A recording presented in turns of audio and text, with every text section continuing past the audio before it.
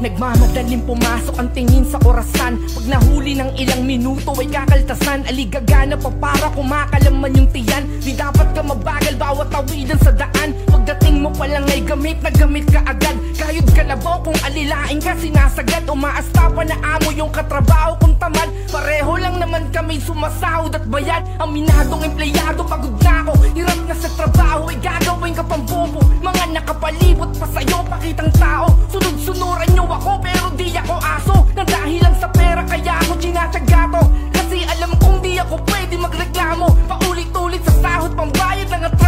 Di madali ang pinagdadaanan naming mga empleyado. Hirap ng buhay, wala na bago.